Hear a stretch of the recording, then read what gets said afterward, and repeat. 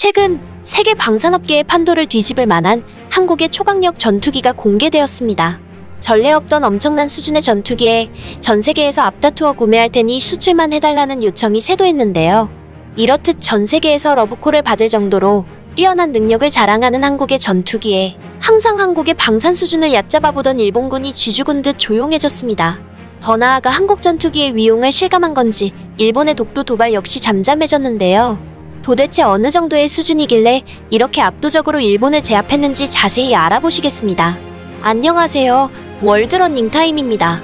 최근 방위사업청은 출고식 이후 미리 만나보는 KF-21 비행 모습이라는 제목의 1분 12초짜리 영상을 공개했습니다.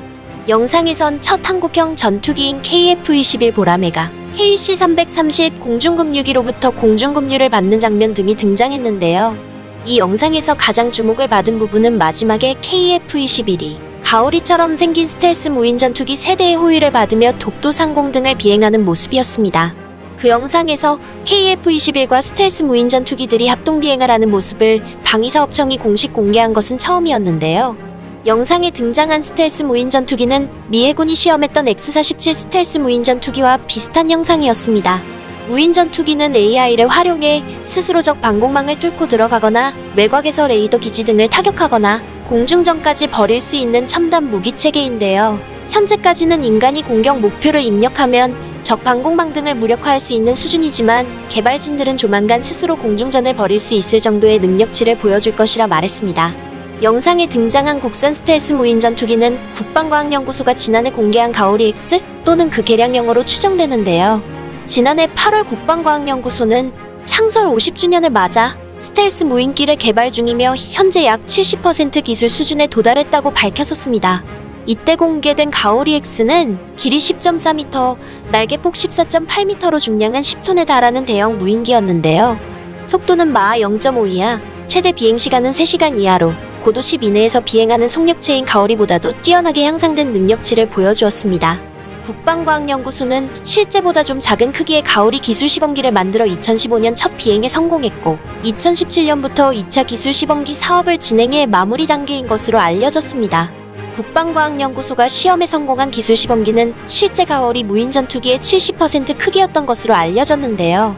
기술 시범기 사업은 대한항공과 KAI가 경합을 벌인 끝에 대한항공이 선정, 제작을 맡았습니다. 가오리 기술 시범기의 존재는 한때 극비에 붙여져 있었지만 2018년 이후 ADD 홍보 영상 중 일부 비행 모습이 포함될 존재가 알려졌습니다. 일각에서는 UFO가 아니냐는 말까지 돌 정도로 엄청난 성능을 자랑하는 한국의 가오리였습니다. 군 관계자들은 가오리 기술 시범기에 성공한 스텔스 무인 전투기 개발 성공에 물꼬를 튼 것이라며 한국 전투기계에 큰 획을 그었다고 말했는데요. 가오리 기술 시범기는 미 X-47 등 여느 스텔스 무인 전투기처럼 꼬리 날개가 없습니다. 레이더 반사 면적을 줄여 스텔스 성능을 갖기 위해서인데요. 하지만 꼬리 날개가 없으면 급격한 기동은 물론이고 안정적인 비행이 어렵습니다. 이런 문제를 정교한 조종을 통해 해결하는데 상당한 기술 수준과 노하우가 필요한 대목입니다. 국방과학연구소는 가오리 기술 시범기 시험 비행을 통해 기술적 난제들을 해결하고 노하우를 축적했다고 전했는데요. 정통한 소식통은 가오리 기술 시범기 시험에 성공함으로써 본격적인 스텔스 무인 전투기 개발에 필요한 핵심 기술을 상당수 확보한 것으로 안다고 말했습니다. 이렇듯 스텔스 전투기에 있어서 뛰어난 잠재력을 보인 가오리 전투기에 대해 전 세계에서 앞다투어 러브콜이 쏟아질 정도로 한국은 우수한 기술력을 전 세계에 뽐냈는데요. 가오리 전투기를 만들고 있는 국방과학연구소는 1999년부터 스텔스 형상 설계 기술, 전파 흡수 재료 기술 연구 개발을 시작으로 주파수 선택적 전파 투과 복합재 기술, 전파 흡수 복합재 구조 기술, 적외선 흡수 재료 기술 등 스텔스 관련 핵심 기술들도 개발해 왔습니다. 군 당국은 2030년대 초반, 즉 10년 내에 가오리 스텔스 무인 전 투기 개발을 완료할 계획이라는 포부를 밝혔습니다. 가오리 X의 무장 능력도 큰 관심을 끌었는데요. 스텔스기이기 때문에 기본적으로 내부 무장창에 각종 폭탄과 미사일을 장착합니다. KGGB 등 기존 폭탄을 개조하거나 신형 소형 미사일을 개발해 장착할 계획인 것으로 알려졌습니다. 엔진도 스텔스 무인 전투기 개발의 성패를 좌우할 핵심 요소입니다. 미국 등이 개발 중인 스텔스 무인 전투기의 엔진은 1만 파운드급인 것으로 분석되는데요. 엔진 전문 업체인 한화에어로스페이스에서 스텔스 무인기용 5,500파운드급 터보팬 엔진 개발이 상당히 진척돼 있다고 전했습니다. 한 소식통은 현재까지의 기술 수준을 감안할 때 1만 파운드급 엔진 개발에도 큰 어려움이 없을 것으로 보인다고 말했습니다.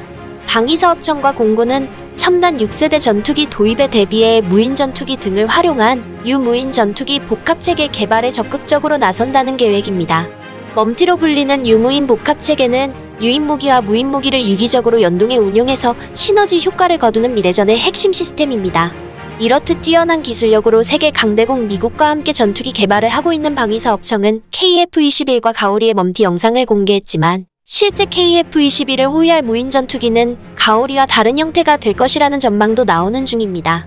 꼬리 날개가 없는 가오리는 KF-21과 함께 움직이는 고기동이 매우 어렵기 때문에 꼬리 날개를 단 형태의 호위 무인기가 새로 개발될 것이라는 얘기가 나왔는데요. 군소식통은 미국 등의 호위 무인 전투기는 꼬리 날개가 있는 형태라며 KF-21 호위 무인기는 가오리를 토대로 하되 꼬리 날개를 단 기체가 새로 개발될 것으로 보인다고 말했습니다. 7만 톤급 항모 개발 성공에 이어 엄청난 성능의 가오리보다도 높은 위력을 자랑하는 KF 전투기까지 지금 현재까지도 전 세계에서는 한국의 기술력을 사고 싶어 안달나 있다는 입장입니다. 그에 비해 일본은 계속해서 한국의 눈치를 살피고 있는 통쾌한 상황이 지속되고 있습니다. 지금처럼만 일본이 자세를 유지한다면 독도 문제도 조만간 해결될 것으로 보입니다. 지금까지 월드러닝 타임이었습니다. 구독과 좋아요는 큰 힘이 됩니다. 다음에 더 좋은 영상으로 찾아뵙겠습니다. 감사합니다.